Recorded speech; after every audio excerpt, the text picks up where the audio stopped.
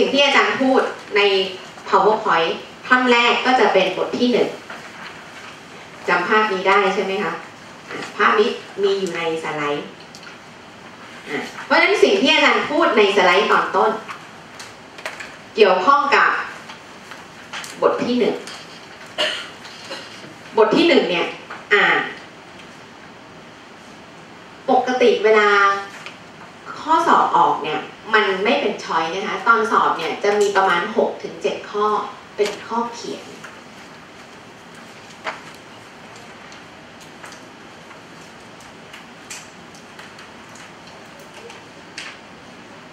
เพราะฉะนั้นบทหนึ่งเนี่ยสามารถอ่านแล้วเอา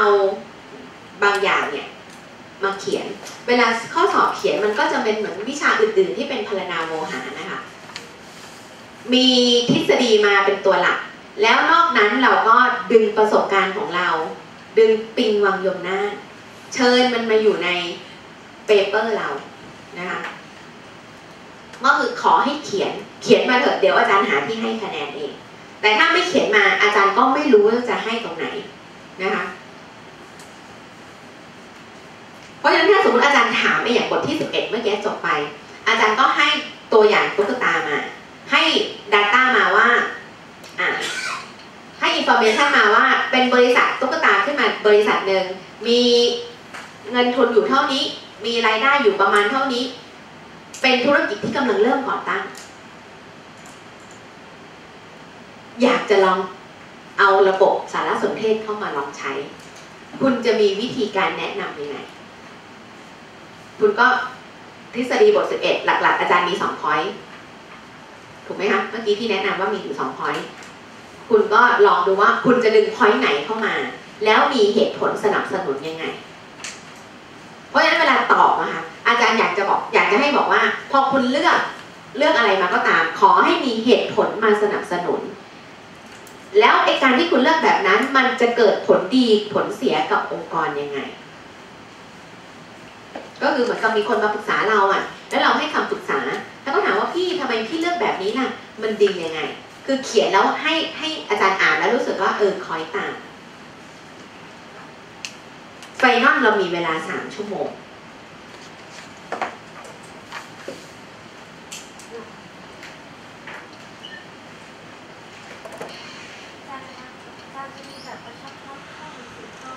อ๋อ ถ้าแบบ short note นี่ข้อสอบจะต้องยากมากนะคะ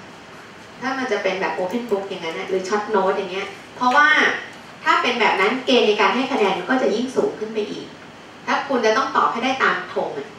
แล้วมันจะไม่มีแบบเขาเรียกว่าอะไรอะ wording บางคำเนี่ย ชักแม่น้ำทั้งห้ามาก็ให้ไม่ได้ มันจะต้องอาจารย์ว่าออกแบบ close book น่าจะดีกว่า ถ้าออกแบบ open book เนี่ยมันจะยาก แล้วข้อสอบจะต้องเป็นสไตล์ case case ที่มีหลาย ๆ หน้าให้คุณไปหาประเด็น แต่ถ้าออกแบบ close book ประเด็นที่อาจารย์จะหยิบมาก็จะมีไม่ไม่เกินหน้าหนึ่งเบากว่าค่ะ หรืออย่างที่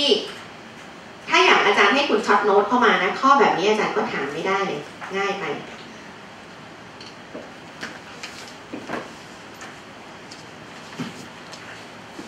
อย่างอันนี้ค่ะ อย่างอันนี้มันจะเป็นบทของการควบคุม มันแค่หยิบเหมือนกับหยิบเติมคำมาหยอด ขอให้คุณรู้ว่าแต่ละเทคนิคมันใช้อะไรตรวจสอบ ถ้าเป็นแบบว่า Open นะ Open Book หรือเอาช็อตโน้ต A4 หน้าหลังอย่างเงี้ยเข้ามามันไม่ได้เลย มันเป๊ะแล้วอะมันไม่ต้องทำมันก็ได้ทุกคน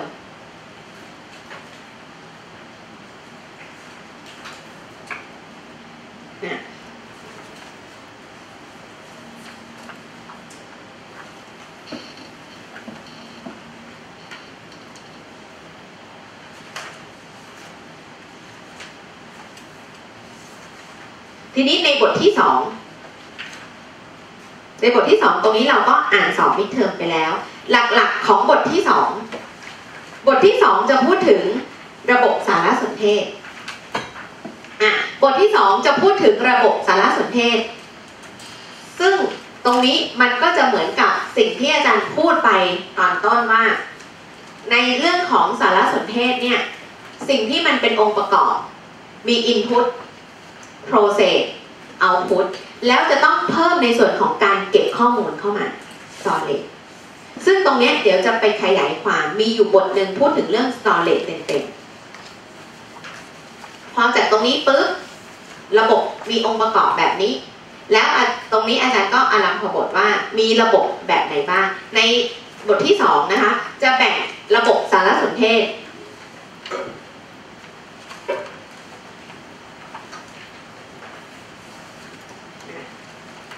งระบบสารสนเทศ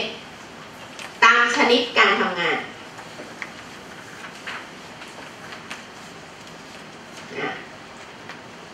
มีการแบ่งตามชนิดการทำงาน แล้วก็ตาม ลักษณะงาน แบ่งตามชนิดอยู่ตรงนี้ แบ่งตามชนิดว่ามีชนิดอะไรบ้าง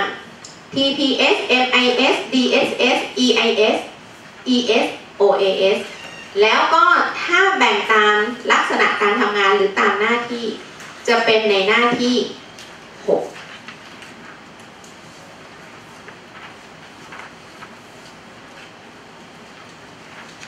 ซึ่งบทที่2อ่านผ่านๆอ่านผ่านๆเลยนะคะ อาจารย์ไม่เน้นอย่างบทที่3เมื่อคืนออกละบทนี้ก็ตัดทิ้งได้ บทนี้ไม่ต้องอ่านผ่านๆเลยบทนี้เอาออกบทที่สี่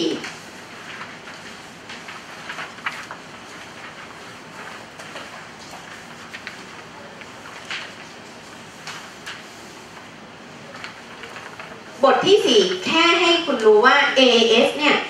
มันทำงานอยู่เบื้องหลัง ว่า A.S. มันเป็นตัวที่ทำไมคะ คอยเก็บข้อมูล อเอามาเจเนเรตให้กับแผนกอื่นๆ เป็นความสัมพันธ์ภายใน อันนี้ก็อ่านผ่านๆ อาจารย์ขอแค่อันนี้ค่ะ ให้รู้จัก REA โมเดล ให้รู้ว่า REA โมเดลมัน เคยผ่านหูผ่านตาเรามาแล้วนะ ว่ามันคืออะไร อย่างรายการเนี้ย การขายสินค้าเป็นเงินเชื่อให้ร้าน UTCC ถ้าเราไม่ได้เรียนบัญชี เราจะหยิบ Data มาลงเดบิตเครดิตไม่ถูก ทฤษฎีนี้มีเอาไว้สำหรับคนที่ทำไมคะทำความเข้าใจว่าอ๋ออีเวนต์นะคือการขายเหตุการณ์ที่เกิดเกิดวันที่เท่าไหร่เกิดการขายขึ้น ขายแล้ว resource ที่เกี่ยวข้องขายอะไรขายสินค้า ขาย product ตัวไหน volume เท่าไหร่ agent ตัวแทนใครบ้างล่ะขายให้ใคร พนักงานขายเป็นใครเพื่อคิดค่าคอมขายให้ใครจะได้รู้ว่าใครเป็นลูกหนี้เราผ่านบัญชีหนึ่งมาไอ้ตัวที่เราจะวิเคราะห์รายการค้า มันซึมเข้าไปในตัวเราละเพียงแต่ REA โมเดลตำราเล่ม AS เนี่ยเขาเอามาจากบัญชีหนึ่ง แล้วเขาะออกมา เพื่อที่ทำไมคะคนที่เขาหันมาศึกษาด้านคอมกับหน้าบัญชีกึ่งกึ่งกันเนี่ย หยิบมาเขาจะได้ทำความเข้าใจได้ ทีนี้เริ่ม เอาจริงบทห้าแสดงว่าเมื่อกี้สิบเอ็ดไปแล้วข้อหนึ่งนะคะ บทที่ห้าทุกปีอาจารย์เคยสัญญาไว้กับทางหลักสูตรว่า จะต้องถ้าเป็นไปได้ อยากจะมีข้อสอบที่เป็นภาษาอังกฤษสักข้อหนึ่ง เพราะฉะนั้นข้อที่จะออกเป็นภาษาอังกฤษเพื่อให้ง่าย ก็จะเป็นพวกโฟล์เป็นภาพ ให้ภาพการทำงานมา แล้วให้คุณอ่านหรืออธิบายโฟล์การทำงาน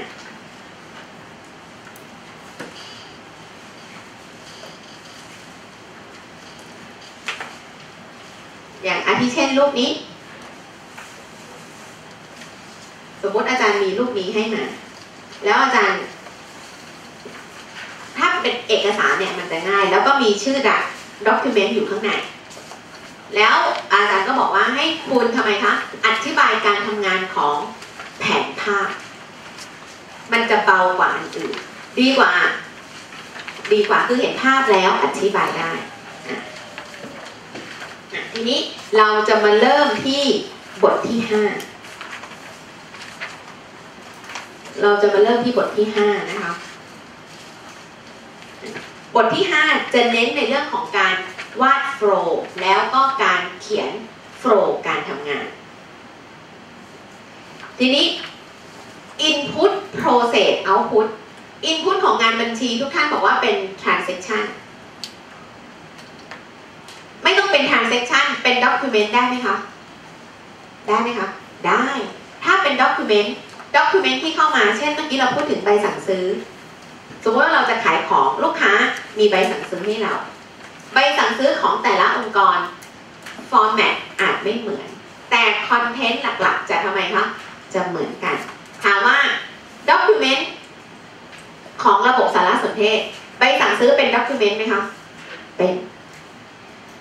รายงานทางการเงิน งบแสดงฐานะการเงิน งบกำไรขาดทุน เป็นรีพอร์ตของงานบัญชีไหมคะเป็น เป็นเอาพุตใช่ไหมคะ เป็นเอกสารของระบบไหม เป็น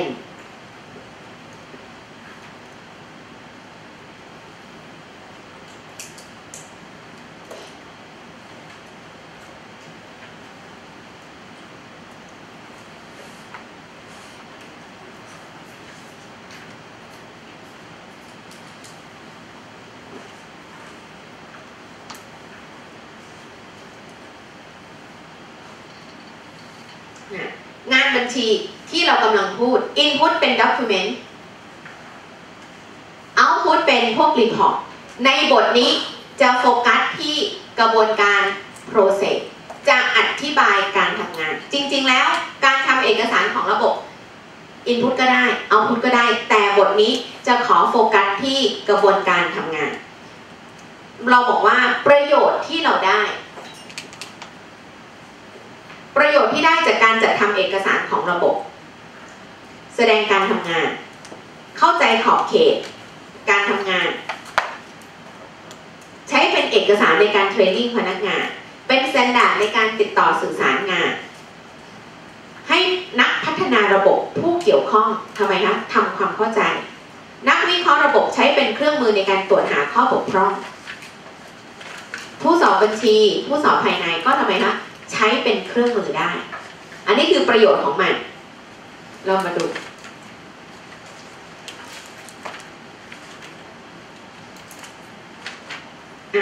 เครื่องมือที่ใช้ ที่ได้รับความนิยม อาจารย์ขอสามหนึ่งสองสามแผนภาพกระแสข้อมูล แผนภาพกระแสข้อมูลเขาบอกว่ามันเป็นภาพที่แสดงแนวคิด ของข้อมูลไฮไลท์ของมันอยู่ที่ตัว แนวคิดของอะไร ของ Data ของ Data ที่เกี่ยวข้องกับระบบ คุณดูสัญลักษณ์ของมันนะคะ external entity สิ่งที่เกี่ยวข้องกับระบบ process กระบวนการทำงาน แหล่งเก็บข้อมูล ใช้ได้สองรูป ถ้าใช้รูปไหนในการเขียนก็ควรจะใช้รูปนั้นสม่ำเสมอ ให้เป็นฟอร์แมตเดียวกัน เส้นทางการไหล ในการวาดแผนภาพกระแสข้อมูล สังเกตนะคะ แผนภาพกระแสข้อมูล Data เป็นตัววิ่ง เพราะฉะนั้นถ้าอาจารย์ยกตัวอย่างภาพภาพนี้คือ context diagram input ที่เข้า ลูกศรจิ้มเข้าคือ Data เข้า Data เข้า Data เข้า ถ้า Data ออกลูกศรจะต้องทำไมคะหันหัวออกจากระบบ แสดงว่าดูตรงไหนเป็น center คะดูระบบเป็น center เพราะฉะนั้น Context Diagram คุณจะไม่เห็นอะไร คุณเห็นวงกลมวงเดียวนะ เพราะฉะนั้น อาจารย์มอง Context Diagram เป็นไข่ไก่ ถ้าคุณณเวลาเนี้ยถามว่าในไข่ประกอบด้วยอะไร ทุกคนตอบได้ไข่แดงไข่ขาว แต่ถ้าเป็นเบบีอะเด็กที่กำลังจะเริ่มเรียนรู้อะเขาจะรู้ไหมคะ ไม่รู้ว่าในนั้นมีอะไรคุณต้องตอกไข่ทอดไข่เจียวทอดไข่ดาวหรือเด็กทำไข่แตกเด็กถึงจะรู้ว่าข้างในมันมีสีแดงกับสีขาวอะถ้ามองข้างบนข้างบนเราเรียกมันว่า context diagram ตัวบนท่อนบนคือ context diagram ท่อนล่าง เริ่มขยายให้เห็น ส่วนขยายเราเรียกมันว่า data flow diagram level level ศูนย์ level ศูนย์จะให้ความละเอียด ให้ความละเอียดมากกว่า context diagram context diagram คุณจะไม่เห็นอะไร คุณจะเห็นวงกลมวงเดียว ประธานโทษนะคะ ทุกท่านมาเรียนเนี่ย ฟรีไหมคะมองหน้าเลย ไม่ฟรีอยู่แล้ว ลงทะเบียนใช่ไหมคะ อาจารย์ถามว่า ถ้าให้ทุกท่านพูดถึงระบบลงทะเบียน ถ้าทุกท่านว่า context diagram ตรงนี้ระบบ A ก็จะแทนด้วยระบบลงทะเบียน สี่เหลี่ยม external entity จะมีใครบ้างที่เกี่ยวข้อง ตัวท่านนักศึกษา ตัวหลักสูตร ถูกไหมคะ ทุกท่านจ่ายเงิน ก็ต้องมีอีก entity หนึ่งที่เกี่ยวข้องเป็นตัวรับเงิน คุณจ่ายตังค์ลงทะเบียน คุณจ่ายตรงให้หลักสูตรไหมจ่ายตรง แต่คุณต้องไปจ่ายผ่านใครคะผ่านสำนักทะเบียนหรือผ่านธนาคาร ผ่านธนาคารถูกไหมคะ external entity ก็จะเป็นอีกกล่องหนึ่ง คุณจะเอา Data จากไหนไปจ่ายให้ธนาคาร คุณจะต้องลงทะเบียนผ่านระบบ หรือหลักสูตรลงให้ แล้วคุณก็จะปริ้นเอกสารใบหนึ่ง บอกว่า นักศึกษาชื่อนี้นามสกุลนี้เลขทะเบียนนี้ยอดเงินเท่าไหร่ แล้วเอาใบเนี้ยไปให้แบงค์แบงค์เขาทำไมคะรับเงิน เป็นตัวกลางในการรับเงินให้ Data ก็จะส่งมาให้ใครคะมหาลัยก็จะมีอีก entity หนึ่งไม่เห็นอะไรนะ เห็นระบบระบบลงทะเบียน มีใครเกี่ยวข้อง คนก็ได้แผนกก็ได้ up to ที่เกี่ยวข้องกับระบบ ประทานโทษนะคะ แล้วถ้าอยากเห็น process ข้างใน ก็จะต้องมี process ที่คุณจะต้องทำไมคะลงทะเบียน หรือถ้าคุณไม่ต้องลงทะเบียนหลักสูตรลงให้ แล้วคุณเอาปริ้นสลิปแล้วไปจ่ายตังค์ตังค์ตรงนั้นแบงค์ได้เสร็จแบงค์ต้องส่งมาให้ใครต่อมหาวิทยาลัยไอ้ตรงเนี้ย detailดีเทลที่เป็นรายละเอียด แล้วเป็นกระบวนการทำงานสังเกตนะคะ คีย์หลักตรงนี้มันอธิบาย กระบวนการทำงาน อธิบายกระบวนการทำงาน ถามว่าถ้าอาจารย์อยากรู้มากกว่านี้อีกได้ไหม ได้ ถ้าอาจารย์อยากรู้มากกว่านี้ อาจารย์ก็จะซูมลงไป ในแผนกที่สองแผนกที่สองอาจจะมี process ย่อยๆ ที่ต้องทำไมคะดิวข้อมูลถึงกัน อันนี้คือ process ท่อนนี้ท่อนบนเรียก DFD level 0 level 0 จะเห็น process ทั้งหมด แต่ถ้าอาจารย์อยากโฟกัสดูแค่ 2 อาจารย์จะเรียกตรงนี้ว่า DFD level 1 ของ process 2 ตรงนี้มันก็จะเป็น process ย่อย 2.1 2.2 2.3 อาจารย์แค่กำลังจะบอกว่าไอ้การที่เราแตกย่อยลงไป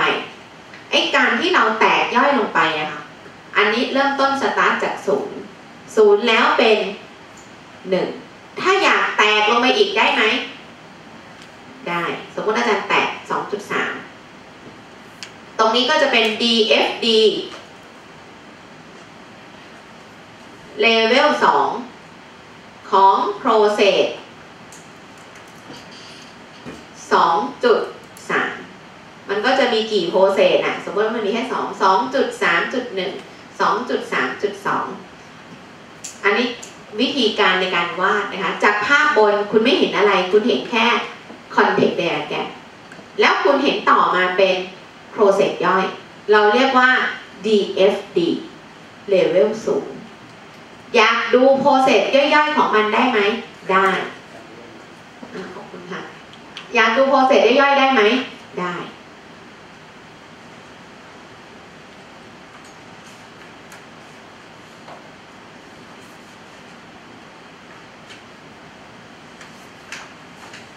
อาจารย์มีตัวอย่างอยู่หน้าที่สิบห้า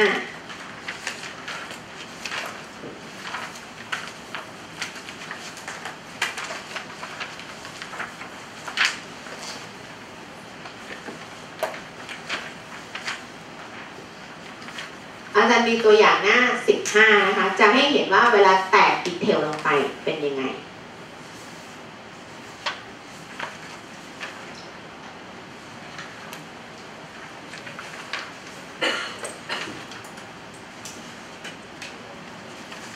การใช้เส้นที่ลากแตกลงมานี่เป็นเส้นทึบหรือเส้นฝา อ่า เส้นที่ลากไม่ เดี๋ยวอาจารย์ให้ดูตัวอย่าง เดี๋ยวอาจารย์เอาฟีดออกก่อนฟีดฟีดฟีดอ่าเดี๋ยวดูในโจทย์นี้ค่ะ เวลาวาดมันจะมาทีละภาพ มันจะไม่มีเส้นปะเส้นทึบ ภาพใครภาพมัน ลองดูนะคะ ที่เมื่อกี้ที่ที่ถาม อันนี้เป็น context diagram อันนี้เปิดหน้า 17 อันนี้ DFD level 0 หน้า 16 พออยากเห็นเลเวลหนึ่งที่เมื่อกี้เส้นทึบเส้นปะรูปไข่รูปมัน รูปไข่รูปมันแต่เมื่อกี้ที่อาจารย์วาดให้ดูตรงนั้น เป็นเหมือนกับไอเดียว่าเวลามันแตกย่อยลงมามันแตกย่อยอย่างเงี้ยอ่าทีนี้เรามาดูก่อนก่อนที่มันจะมาเป็นรูปพวกนี้ เราดูในสิ่งที่อาจารย์ให้มา อาจารย์บอกว่าอันนี้เป็นข้อมูลในเรื่องของการคำนวณค่าแรงผู้จัดการโรงงานเขาทำการรวบรวมไทม์การ์ดของพนักงานโรงงาน แล้วเขาก็มีการเอามารีวิวดูว่าทำโอทีจริงไหมทำงานตามวันเวลาครบถ้วนหรือเปล่า ตามบัตรตรงนั้นอะได้มั่วๆเข้ามาหรือเปล่า เพราะฉะนั้นพอทบทวนความถูกต้องเสร็จ ก็มีผู้จัดการโรงงาน มีพนักงานโรงงาน พอตรวจแล้วมันถูกต้องก็ส่งไปให้บัญชีเงินเดือน บัญชีเงินเดือนก็ทำไมคะคำนวณค่าแรงของพนักงานแต่ละคน เพื่อทำไมคะ จ่ายค่าแรงสิ่งที่โจทย์ต้องการ information ให้มาประมาณเนี้ยคำสั่ง เขียนโฟล์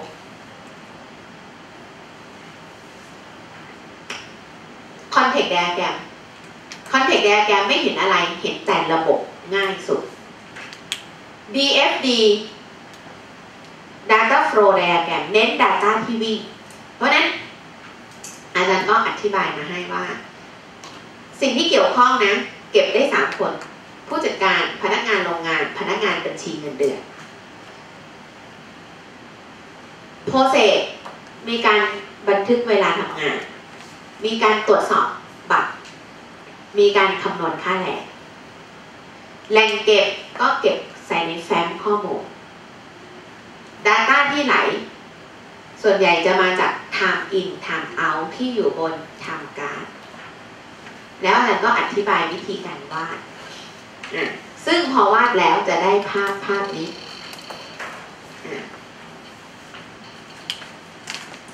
ระบบอยู่ตรงกลางไม่เห็นอะไรเห็นแต่ระบบ เห็นแต่ระบบ มี entity สามสามคน อันนี้เป็นข้อสอบมิดเทอมหรือเปล่าคะ ใช่ภาพนี้ไหมใช่อะแล้วสังเกตว่า ไอ้ตรง Data ไอ้ตัวสีฟ้าเนี่ย คือ Data ที่วิ่ง Data ที่วิ่ง เพราะฉะนั้น ให้ให้ข้อมูลมา แล้วให้วาดโฟล์ให้ข้อมูลแล้วให้วาดโฟล์หรือให้โฟล์มาแล้วอธิบายช อบแบบไหน เดี๋ยวค่อยบอกอาจารย์ได้ค่ะ อันนี้อันนี้เป็นคอนเทกต์ i ด g r รมภาพแรก ทีนี้พออยากเห็น process process มันก็จะมาเป็น DFD level 0 level 0คุณจะเห็นว่ามันมีกระบวนการทำงาน เมื่อกี้ที่เราจับได้ กระบวนการทำงานแบ่งออกเป็น 3 กระบวนการ บันทึกเวลาทำงาน ตรวจสอบบัตรคำนวณค่าแรงอยู่ในไหนคะอยู่ในโจทย์ อยู่ในโจทย์ตรงเนี้ย แล้วแกะมาเป็นท่อนล่างพอแกะได้แบบนี้ปุ๊บก็จะได้ดังรูปสามโปรเซสบันทึกตรวจสอบคำนวณแล้วที่วิ่งสิ่งที่มันวิ่งคืออะไรคะ Data ที่วิ่งอยู่บนเส้น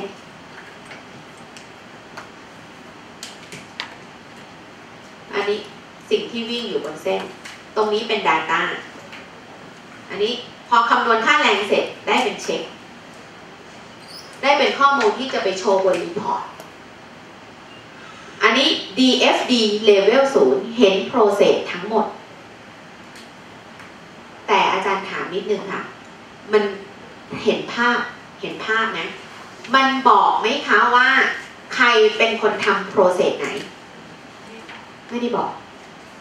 อันนี้คือความแตกต่างของเครื่องมือชนิดนี้นะคะ เครื่องมือชนิดนี้ data flow diagram เน้น data ที่วิ่ง เพราะฉะนั้นคนที่จะเอาไปใช้ก็จะเป็นนักวิเคราะห์ระบบ นักพัฒนาระบบ ต่อนะคะ ถ้าสมมติอาจารย์อยากจะซูมดู อาจารย์ก็เลือกซูมสักหนึ่งอัน เอา process สองอยากซูมดู process สองมีกระบวนการทำงานย่อย DFD level 0 เราก็จะเรียกว่า DFD level 1 level 1 0 แล้วไป 1 ของ process ไหน process 2ชื่อ process อะไร แบ่งกระบวนการทำงานได้ออกมาเป็น 1 กับ 2ทำไม 1 กับ 2 เราก็บอกโจทย์เขาบอกว่าผู้จัดการโรงงานต้องรวบรวมก่อน พอรวบรวมครบไม่ครบพอครบไหมครบเสร็จแล้วปุ๊บก็เอามาทำไมคะ เอามาตรวจสอบ ความถูกต้อง ว่าคนนี้ทำโอจริงหรือเปล่าไอ้วันที่มาทำงานครบไม่ครบ แล้วก็ส่งข้อมูลไปให้บัญชีเงินเดือนภาพนี้ บัญชีเงินเดือนทำค่าแรงแต่ถ้าเราดูจาก Data เราไม่อ่านโจทย์ดูจากแผนภาพ เราต้องมานั่งมโนเองว่าใคร พอดีที่เรารู้เพราะอะไรคะ เรามีเนื้อหาของโจทย์ให้มา มีโจทย์มาให้ แล้วให้วาด แล้วให้วาด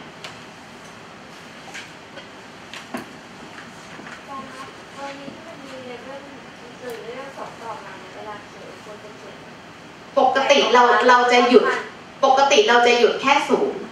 แค่ศูนย์เห็นทั้งหมดจริง ๆ แต่แค่หนึ่งก็เยอะแล้ว ขึ้นอยู่กับระบบที่เราไปดูค่ะ ว่าเราต้องการให้มันลึกแค่ไหน ขึ้นอยู่กับเราค่ะ ขึ้นอยู่กับเรา เพราะเราเป็นคนเขียน ถ้าเราคิดว่ามันหยุดแค่เลเวลศูนย์แล้วเราเข้าใจ จบล้วแต่ถ้าเราคิดว่ามันยังมีดีเทลต่อ ต้องการให้คนที่มันใช้ร่วมกับเรา รู้ เราก็แตกต่อ ขึ้นกับเรา ไม่ได้มีตายตัวนะคะ ไม่ได้มีตายตัว อะ ทีนี้ เครื่องมือที่สอง ย้อนกลับมาเครื่องมือแรก เน้น Data ที่วิ่ง เครื่องมือที่สองผังงานเอกสาร ผังงานเอกสารเครื่องมือก็จะเยอะขึ้น มีภาพ document ผังงานเอกสารตัวที่เป็นคีย์ในการวิ่งก็คือเอกสารผังงานเอกสารเป็นแผนภาพที่แสดงความเกี่ยวข้องของ เอกสารกับระบบงาน key ของมันคือเอกสาร เพราะฉะนั้นสัญลักษณ์ของเอกสาร ต้องรู้ด้วยว่าสัญลักษณ์แต่ละตัวใช้สำหรับอะไร document ตัวเดียว document ที่มากกว่าหนึ่งไอ้ใบที่มากกว่าหนึ่งเนี่ย อันแรกอาจจะไม่ต้องเขียนเลขหนึ่งสมุดรายวัน ท่อนแรกนะคะ ขอให้ ทำความเข้าใจว่าไอ้ตรงนี้เป็น ข้อมูลเข้าข้อมูลออก อันนี้เป็น process process สี่เหลี่ยม อันนี้สี่เหลี่ยม เราเรียกสี่เหลี่ยมตัวนี้ว่าสี่เหลี่ยมอะไรคะ จะบอกว่าด้านไม่เท่าใช่ไหม สี่เหลี่ยมด้านไม่เท่าใช่ไหมคะตัวนี้ อะ มันแทนในเรื่องของการคีย์ข้อมูลผ่านเครื่องคอมตัวนี้จะใช้เยอะนะคะ หมู อะไรที่ใช้แมนนวลทำงานด้วยมือ ขึ้นตัวใหม่ การเก็บข้อมูล สามเหลี่ยมตัวนี้เป็นการเก็บข้อมูลในแฟ้มเก็บแบบไหน ถ้าตัว A มาจาก alpha vertically ตัวอักษร เก็บตัว D เรียงวันที่ เก็บตัว N ตาม number แล้วแต่ การเชื่อมต่อ การเชื่อมต่อเอกสารวงกลม เป็นการเชื่อมต่อเอกสารหน้าเดียวกัน สี่เหลี่ยมอีกตัวหนึ่ง เป็นการเชื่อมต่อระหว่างหน้า ลูกศรการไหลของข้อมูลรถเข็นคือการเดินทางของสินค้าหรือวัตถุดิบ ตรงนี้เป็นสัญลักษณ์ของการให้ข้อมูลเพิ่มเติม ทีนี้อาจารย์เริ่มต้นด้วย แผนภาพนี้ แผนภาพนี้ แปลว่าอะไรคะเขาบอกว่า ตัวอย่างของผังงานเอกสารสังเกตอะไรที่มันแตกต่างจาก Data Flow Diagram มันมีชื่อเอกสารอ่ามีชื่อเอกสาร ตัวที่ต่างกันก็คือ Data เอ่อ Dat- ในเรื่องของ Document แล้วที่สำคัญอีกตัวคืออะไรคะเมื่อกี้นี้ Data Flow Diagram ไม่ได้บอกใครทำแต่อันนี้มันมีโจหัวให้ คุณจะเห็นว่าใครที่เกี่ยวข้อง อันนี้คือความต่าง อันนี้แปลว่าไงคะจากภาพ แปลว่า หน่วยงานไหนอยากได้แอสเซทตัวไหน ต้องทำเอกสารขึ้นมาฉบับหนึ่ง ชื่อว่าใบขอสั่งซื้อ แล้วใบขอสั่งซื้อก็จะถูกส่งไปให้แผนกจัดซื้อเป็นคนดำเนินงาน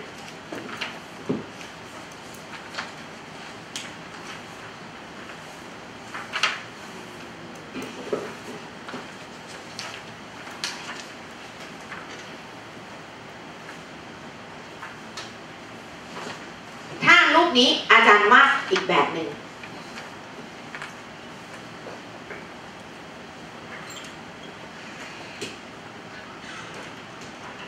ถ้ารูปนี้อาจารย์วาดอีกแบบหนึ่ง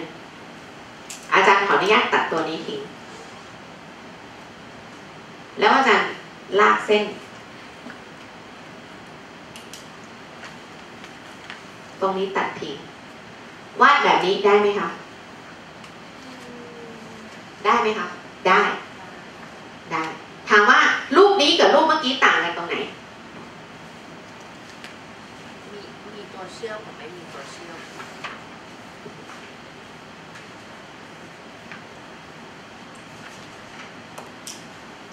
อะรูปนี้ A สัญลักษณ์ A เป็นการเชื่อมต่อหน้าเดียวกันแสดงว่าใบขอสั่งซื้อ อยู่ที่ A A อยู่ไหน A มาข้ามมาฝั่งนี้แสดงว่าใบขอสั่งซื้อต้องส่งมาให้จัดซื้อ ต้องส่งมาให้จัดซื้อแต่อาจารย์ไม่ได้วาดแบบนี้ เพราะว่าเขามองว่าไอ้จุดตัดนะคะจุดตัด ในหน้ากระดาษมันไม่สวย เขาก็เลยใช้การเชื่อมต่อ หน้าเดียวกัน แต่สิ่งที่อาจารย์กำลังจะบอกคุณว่า เวลาคุณวาด อัพถูกคุณ ว่าคุณใช้แบบไหน อัพถูกคุณคุณไม่ต้องใช้จุดเชื่อมต่อหน้าเดียวกันได้ไหมได้ คุณไม่จำเป็นต้องเริ่มด้วย A ได้ไหม คุณใช้เป็นหนึ่งได้ไหมได้ ใช้เป็นสัญลักษณ์ตัวไหนก็ขอว่ามันเชื่อมต่อกันก็ให้มันเป็นสัญลักษณ์เดียวกัน หรือถ้ามองแบบนี้วาดแบบนี้แล้วไม่สวยวาดอีกแบบได้ไหม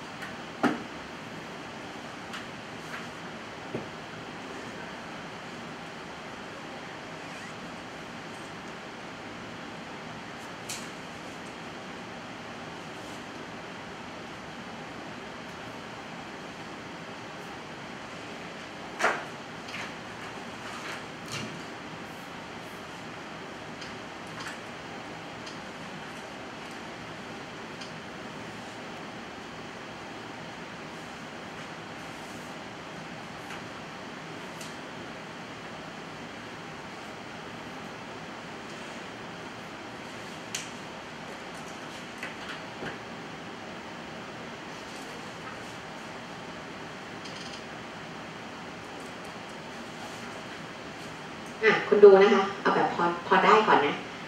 เลขหนึ่งเอกสารใบแรก มันมาส่งถึงอีกแผนกหนึ่งแบบนี้มันจะมีเส้นตัดแค่เส้นเดียวเขานิยมทำสะพานโค้งเพราะบอกดูไม่งามตา มีจุดตัดในหน้ากระดาษอันนี้จากเดิมมีจุดตัดกี่จุดหนึ่งสองถ้าให้คุณวาดคุณจะวาดแบบนี้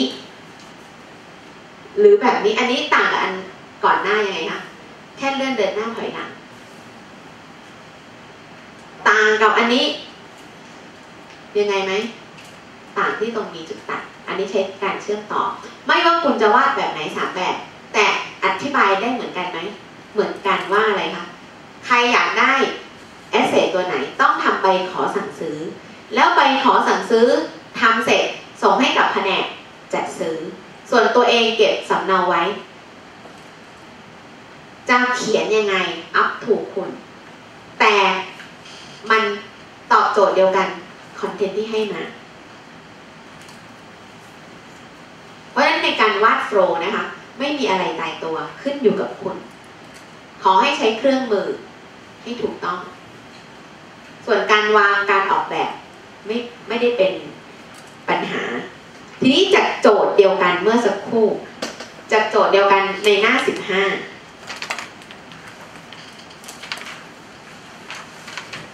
ทั้งงานเอกสาร เอกสารเป็นตัวเดิน แล้วเอกสารนั้นบอกว่าใครเป็นคนทำอะก่อนจะไปตัวอย่างอื่น อาจารย์ขออนุญาตถาม หน่วยงานไหนเป็นคนจะทำใบขอสั่งซื้อคะ อ่าหน่วยงานข้างบนหนึ่งอยู่ไหนหนึ่งอยู่ข้างบน เป็นคนคีเอทเอกสาร เป็นคนทำเอกสารอะทีนี้โจทย์หน้าสิบห้าโจทย์โจทย์เดิมนี่แหละ ในเรื่องของการคำนวณค่าแรงแล้วถ้าเกิดว่าให้วาดเป็นผังงานเอกสาร ผู้จัดเราก็ตัดตอนตอนที่พนักงานโรงงานคีย์บัตร ทำอินทาเอาเอาบัตรไปต่อ มาเป็นผู้จัดการโรงงาน มีเอกสารเออก็คือทางการใบที่หนึ่งถึงใบที่เอ็นจนคนสุดท้าย แล้วผู้จัดการเขาก็เอามาสอบทานความถูกต้องไอ้การสอบทานความถูกต้องใช้คอมหรือใช้คนใช้คนใช้คนเพราะฉะนั้นสัญลักษณ์ที่ใช้ย้อนไปดู ใช้คางหมูตัวนี้ ตัวบนสุดอะก็ทบทวนความถูกต้อง ทบทวนความถูกต้องเรียบร้อยแล้ว ก็เอาไอ้ time card ตัวเนี้ย ส่งไปให้กับบัญชีเงินเดือนอะตรงนี้ยังไม่ได้ใช้คอมทำพนักงานก็ปุ๊ปีปุ๊ปี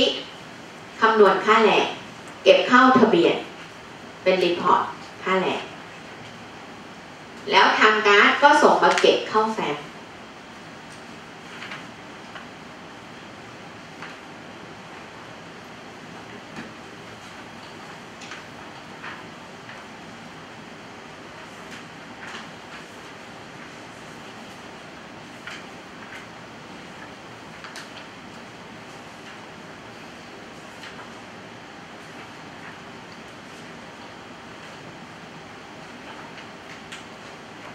เหมือนไม่ยาก แต่ก็ไม่ง่าย อาจารย์ว่าไม่รู้คุณเห็นตรงกันหรือเปล่า ถ้าให้เนื้อหามา ให้เคสมาให้ตัวอย่างมาแล้วให้วาดอาจจะไปคนละทาง ถูกไหมครับบางคนอาจจะแตกสองแตกสามแต่ถ้าให้ภาพมา คอนเทนต์มันน่าจะไม่หนีกัน เราอยากหนีเพื่อนไหมคะ